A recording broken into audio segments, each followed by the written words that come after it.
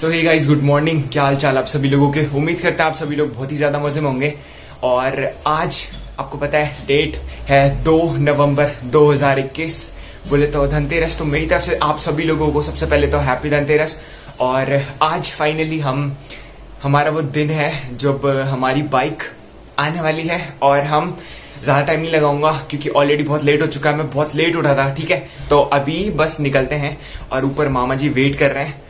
सो so, मामा जी super excited है क्योंकि आज उनकी बाइक आ रही है। बोल लेता हूँ हमारी फैमिली में एक नई बाइक एक बात आप नोटिस करो कि हम डीजे लेके नहीं जा रहे हैं। यहाँ से हम गाड़ी में जाएँगे और वहाँ होंडा शोरूम पे मिलते हैं आपको और आपका आज सस्पेंस सारा खत्म हो जाएगा कि कौन सी बाइक है। आज रिवील होने वाला है। वैसे कुछ कुछ लोगों ने बहुत राइड गेस किया था और कुछ कुछ लोगों को लग रहा था कि कि मैं ये बाइक बेच रहा हूँ अपनी वाली और खुद को नई बाइक ले रहा हूँ लेकिन ऐसा नहीं है। मैं निकलता है फिर।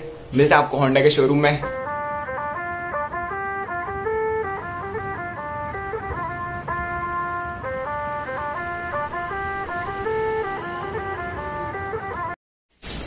So guys finally Honda auto hub current track में हम पहुँच चुके हैं और एंटर करते हैं शोरूम होंडा के। सो गाइस ये होंडा का शोरूम है और ये बिल्कुल नया खुला है। ऑल राइट गाइज़ अभी हम Honda auto hub current track के ओनर के साथ बैठे हैं। सो अंकल जी ने हमारी बहुत ज़्यादा हेल्प की। सो एक बार अंकल जी का नाम। मेरा नाम बिट्टू।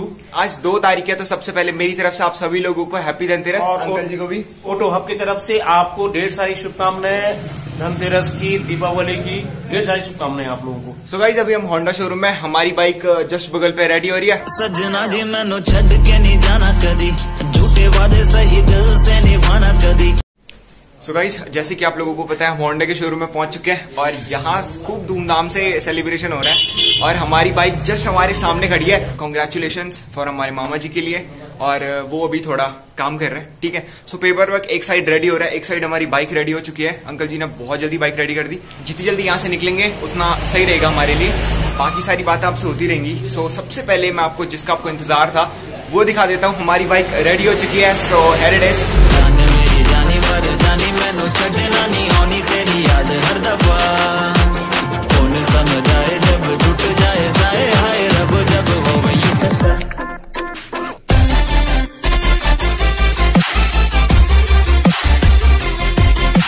तो जिसका आप सभी को इंतज़ार था, वो ये है Honda S P one twenty five कई लोगों ने बिल्कुल सही गैस किया था और कई सोच रहे थे कि होंडा शाइन होगी बट ऐसा नहीं है होंडा शाइन नहीं है।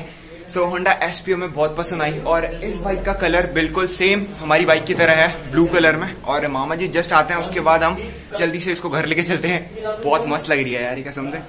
सो ये इसमें और भी कलर्स थे बट मेरे को पर्सनली ब्लू कलर पसंद आया मामा जी के लिए तो मैंने ले ली।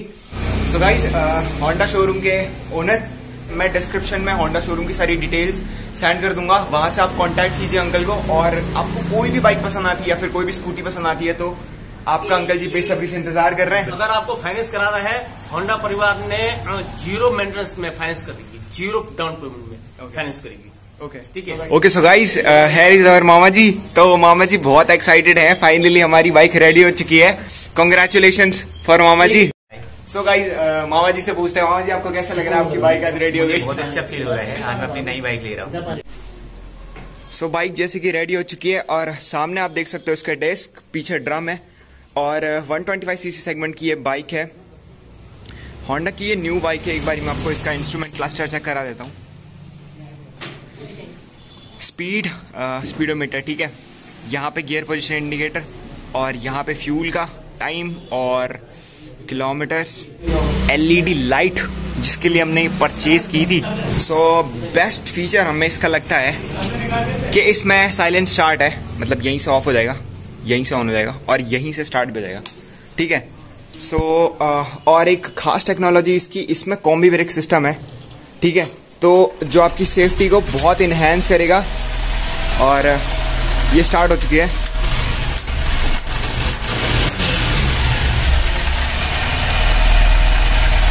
And look at the sound इसका इंडिकेटर काफ़ी ब्राइट है।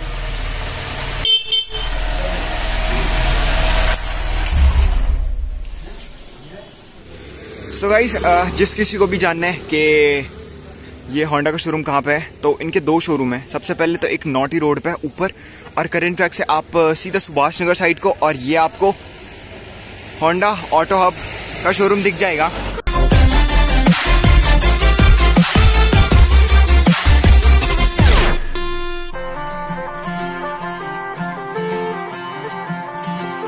सजना जी, तेरे बिना जिया लागे ना। हम रब से मांगे तुझे और कुछ मांगे ना।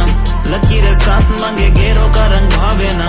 किस्मत मंजूरी ना दे, तू ही मन को भावे हाँ। परदेसी बिना तेरे शहर की गलियाँ सुनी। सो गाइस एक बात गौर फरमाने लायक है। फाइनली जब मैं इसको चला रहा हूँ तो मेरे को सेम फीलिंग आ रही है जैसे मैं अपनी बाइक चला रहा हूँ, ठीक है? So blue colour same to same बिल्कुल मज़ा सा आ जा रहा है इसको चलाने में। एंड सीरियसली ये 125 सीसी है बट बिल्कुल भी ऐसा फील नहीं होता कि इसमें पावर ड्रॉप है। और पावर डिलीवरी की मैं अगर बात करूँ तो इसमें 10.7 bhp की पावर है और 10.9 न्यूटन मीटर का टॉक है। एंड ऐसा लग रहा है मेरे पास मेरी बाइक है। थोड़ा उसका हैंडल किसी ने ऊपर उठा दिया होगा। और ब्रेकिंग की मैं अगर बात करूँ तो सही सी लगी मेरे को ब्रेकिंग इसकी। आज जैसे कि आप लोग देख सकते हो, धनतेरस है। तो मार्केट में बहुत ज़्यादा भीड़ है, इसलिए मैं ऊपर के रास्ते आया था। ऐसे जैसे इस बाइक को चलाते रहेंगे तो ये आइडिया लग जाएगा कि इसका माइलेज कितना है। सो कंपनी क्लेम करती है 65 प्लस का माइलेज तक खुद आजमाते नहीं हैं, तब तक हम विश्वास नहीं करते किसी भी चीज़ को। तो आज दिवाली के अवसर पे सबके सब अपने घर निकल रहे हैं, ठीक है? एंड हम भी निकल रहे हैं। हम जा रहे हैं हमारे नानी के घर।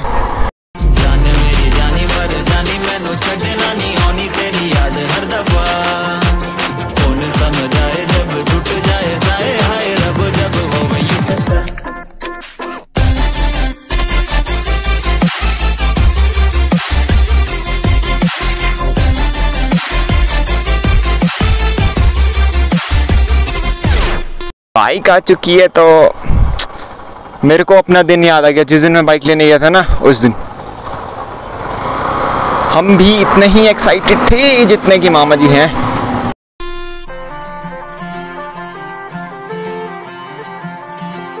सजना जी, तेरे बिना जिया लागे ना। हम रब से मांगे, तुझे और कुछ मांगे ना।